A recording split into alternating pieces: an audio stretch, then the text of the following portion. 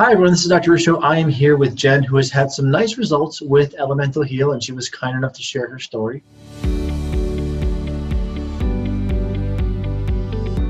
So, Jen, I'm really excited to hearing more about your journey. Great, thank you. So I, I, don't know a ton about your case, uh, and I try to leave these questions uh, for us to go through in this conversation. But tell us a little bit about the road up to Elemental Heal, your symptoms. Maybe you've seen some doctors, maybe you've tried some diets. Tell us a little bit about what was going on up until now. So, for over a year, I had just had symptoms that continued to get worse and worse. Um, I had been dealing with extreme belching, extreme um, stomach, dis- just a distended stomach. I always felt like I was full, so I was never hungry. But I knew that I was having trouble eating pretty much right before I started Elemental Heal. I couldn't eat anything without having some kind of symptom. Um, I had tried the low FODMAP diet, elimination diets. I had been through extensive testing with my gastro specialist. Um, and I had just finished a colonoscopy and some biopsies with no results that were helpful. um, nobody knew what was wrong. And I said to my doctor, Have you heard of SIBO? And he said yes. And we discussed it and decided that um, I would pursue antibiotics, um, but my insurance would not cover them. So, um, because I had spent such a long time trying to heal myself and try other methods, um, I chose to do some research and then I found Elemental Heal. I was pretty miserable by the time I, I wasn't sleeping because of the symptoms and I was having trouble working and thinking. so so not a very uh, unfortunately not a very uncommon story where on the one hand some good things. You had any major pathologies ruled out by your gastro and your conventional doctors which i think everyone should. And, and just to maybe reiterate this for people my position has always been you should have at least one doctor on each side of the fence because while there is some overlap in the venn diagram there's also differences in what we're looking for. Um, so as to make sure in case there was any kind of god forbid major potentially uh, threatening pathology present you have that ruled out. So okay, we can kind of check that, which is good on the one hand and frustrating on the other because it leaves the person saying, well, what do I do? Uh, and then you also tried some diets. Low FODMAP is a great initial diet to try along with an elimination. So those are both very intelligent first dietary steps to go through. So you really have, you know, had done, I think, a, a kind of A plus job on, on the way up to this point. And I also don't blame you for feeling a little bit miserable because when you're doing this stuff, seeing doctors and changing your diet and not feeling any better, it can be really frustrating. Um, mm-hmm. I'm glad that you arose at the potential of SIBO or some type of disruption of the flora in the gut. And rifaximin or Xifaxan is FDA approved to help with IBS, so it's definitely an option. But unfortunately, as you mentioned, for some people, it's really a battle with their insurance to obtain coverage. Uh, and this is where I think probiotics have a lot of potential utility uh, because we haven't done the analysis yet, but I'm, I'm fairly certain when we do a cost analysis comparing the facts from the probiotics, we'll find that probiotics are vastly cheaper as one option, or the elemental diet as another option. The nice thing about the elemental is it can really lead to fairly rapid relief in symptoms. Not to say it's the best option, but it, it may be one of the more expeditious. Is that what you noticed? Was there a fairly quick response in terms of your symptoms? Yes, I would say within definitely by the third day, my quality of life had completely flipped around where it was pretty it was if on a scale of 1 to 100 it probably was at a 5 and then it was up to 95 um, and to your point i think the elemental diet um, and all the other things that i had tried for me i had been spending so much money on food and testing that um, it just I really felt like I was out of options and I was willing to just drink liquid. so you have to be, I think, ready to do that too. But I was at a place where I was ready to do it, to do it consistently. So yes, my symptoms were, they, I would say they improved after just a day, but almost all of them were drastically improved by the third day. Okay, so yeah, so you know, again, that that expeditious response. Um, was it difficult for you to do? Uh, one of the things I, would love for you to speak to, and, and, there's there's no right or wrong answer here. I'm not trying to lead you in one direction, but one of the things people will read about online, uh, depending on where they start their reading with the elemental diet, uh, there's some more dated literature that or opinions that elemental diets taste terrible, which is true based upon the early formulas. The the newer formulas, like the Elemental Heal line, uh, has said some major revisions in terms of flavor profile. Uh, flavor profile. Um, so, what did you think about taste? How difficult was it to do? And, and you know, how do those other aspects feel for the person who may be saying, "Oh my gosh, you know, exclusive liquid nutrition, that sounds really hard." Yeah, it, it was hard, but um, so I'm still using it. Um, but for the first, I took it for 17 days, only that, and um, I uh, just played around with ratios. So ice cubes, and do I want to use a third, two thirds cup liquid, or a half a cup, or a full cup? Um, I purchased the vanilla and the chocolate.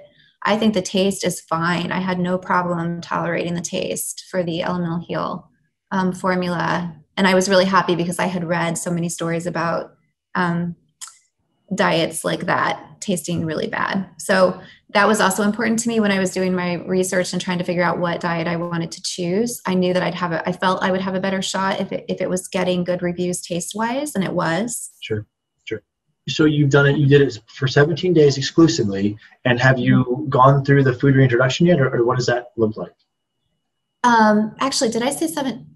Was it 17 days? I, I think I'm wrong about that. It was it was just over i think it was just over two weeks that i did exclusively okay. yeah so so then i um i did reach out to your health coach and scheduled an appointment because i knew that i had to figure out how to reintroduce food and i was really nervous about that mm-hmm. um, but to answer your question yes i have been um, introducing very very slowly um, the three probiotics and then um, just reintroducing food and I've learned the hard way from my moments of weakness that uh, things, I guess, things that I don't tolerate, or um, how important it's been for me to introduce one, like one ingredient at a time, mm-hmm. so that I can really be a good detective and figure out what my body's responding to and what it what it doesn't like and what it can tolerate.